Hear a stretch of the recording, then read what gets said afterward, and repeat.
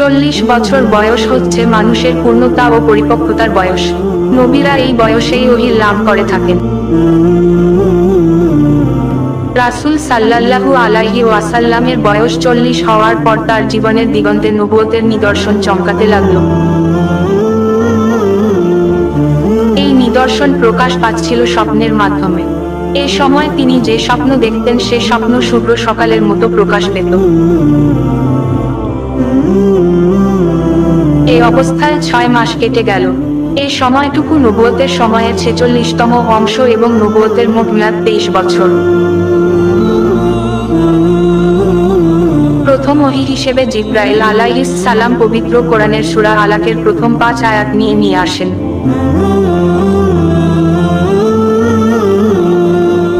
ইতিহাসের বিভিন্ন সূত্র ও বিভিন্ন গ্রন্থ অধ্যয়ন করে পাওয়া তথ্য অনুযায়ী, প্রথম ওহি এসেছিল রমজান মাসের একুশ তারিখ সোমবার রাতে।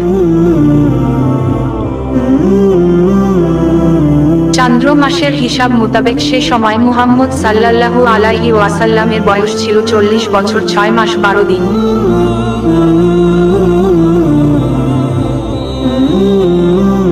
যে স্বপ্ন দেখতেন, সে স্বপ্ন শুভ্র সকালের মতো প্রকাশ পেত।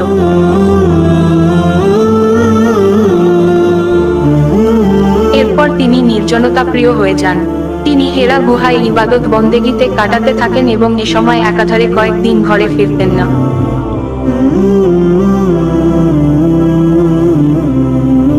ওহির সূচনা প্রসঙ্গে আয়েশা রাদিয়াল্লাহু তা আলা আনহু বলেন, প্রিয় নবীর ওপর ওহি নাজিলের সূচনা স্বপ্নের মাধ্যমে হয়েছিল। পানাহার সামগ্রী শেষ হয়ে গেলে সেসব নেওয়ার জন্য বাড়িতে ফিরতেন।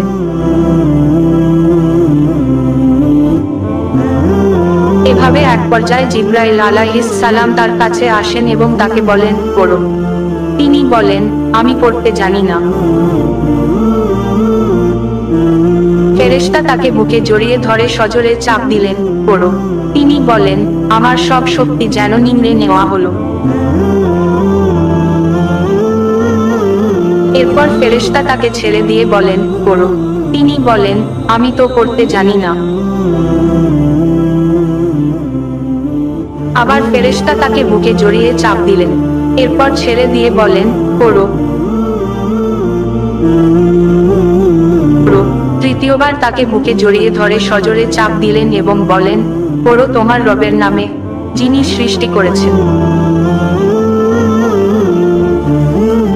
এই আয়াতগুলো নাজিল হওয়ার পর প্রিয় নবী সাল্লাল্লাহু আলাইহি ওয়াসাল্লাম ঘরে ফিরে এলেন। তার বুক ধুক করছিল। স্ত্রী খাদিজা রাদিয়াল্লাহু তা আলা আনহুকে বলেন, আমাকে চাদর দিয়ে ঢেকে দাও, আমাকে চাদর দিয়ে ঢেকে দাও। খাদিজা রাদিয়াল্লাহু তা আলা আনহু নবীকে চাদর জড়িয়ে শুইয়ে দেন। তার ভয় কেটে গেল। এরপর খাদিজা রাদিয়াল্লাহু তা আলা আনহুকে সব কথা খুলে বলে রাসূল সাল্লাল্লাহু আলাইহি ওয়াসাল্লাম বলেন, আমার কি হয়েছে?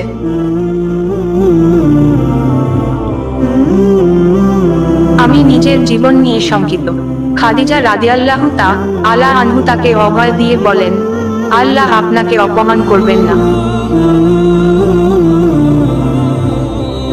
আপনি আত্মীয় স্বজনের হক আদায় করেন। বিপদগ্রস্ত লোকদের সাহায্য করেন, মেহমানদারি করেন, সত্য প্রতিষ্ঠায় সহায়তা করেন।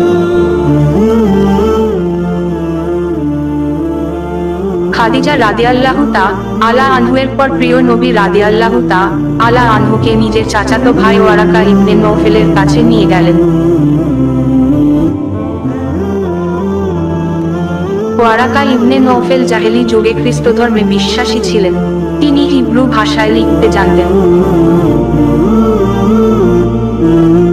সে সময় তিনি ছিলেন বয়সের ভারের মুচ দৃষ্টিহীন। খাদিজা রাদিয়াল্লাহু তা আলা আনহু বলেন ভাইজান আপনি আপনার ভাতিজার কথা শুনুন।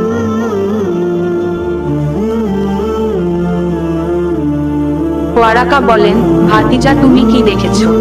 রাসূল সাল্লাল্লাহু আলাইহি ওয়াসাল্লাম যা যা দেখেছেন সব তাকে খুলে বলেন।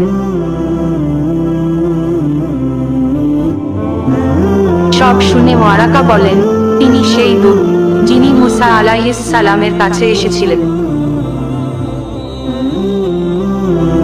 হায়, যদি আমি সেই সময় বেঁচে থাকতাম, যখন তোমার জাতি তোমাকে বের করে দেবে।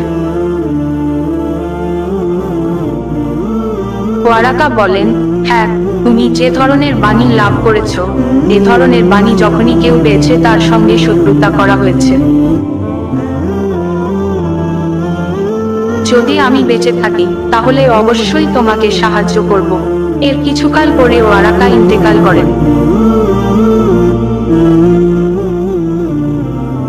এরপর হঠাৎ তহির আগমন বন্ধ হয়ে যায়। বুখারি, প্রথম খণ্ড, পৃষ্ঠা দুই মাইনাস তিন।